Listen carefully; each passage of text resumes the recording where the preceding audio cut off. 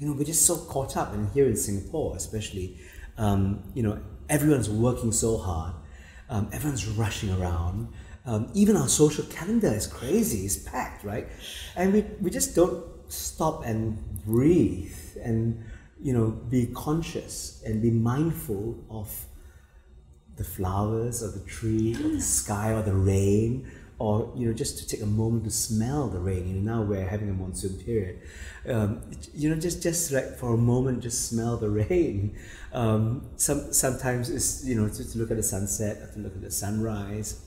I, I think you know we, we live such fast um, fast paced lives that um, it's just important to just stop and breathe for a little bit and remind ourselves why we're here.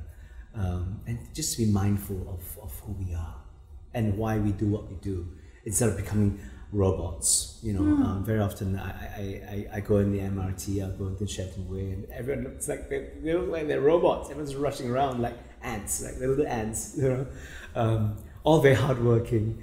Um, all they all know their place, and they're all really working hard to to achieve a goal. And um, you know, I, I just I just I just want everyone to stop for a little bit. And, and anyway, anyway, my best friend.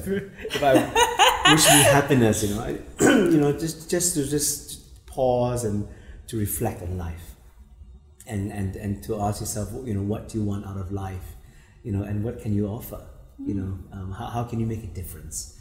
I think that that's a big thing for me. Um, I always try every morning when I wake up to to think, how am I going to make a difference um, to whether to whether it's to myself or whether it's to the people around me or whether it's my workplace. You know, how, how, how do I make a difference? You know.